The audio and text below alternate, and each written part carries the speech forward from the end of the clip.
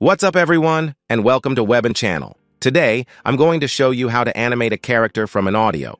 Go to 11labs.io and type your text and choose any style of voice from here and click generate speech and then click download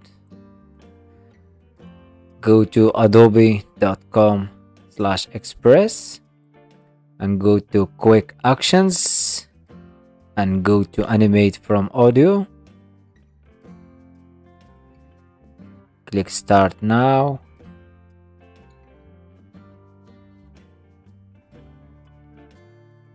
And choose any character you want.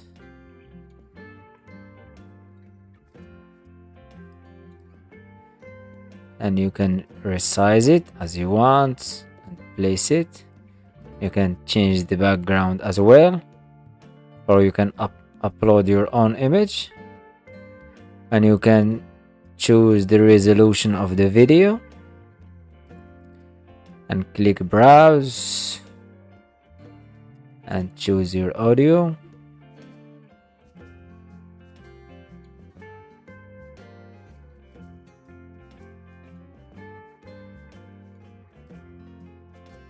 and here is the final result What's up, everyone, and welcome to WebOn Channel.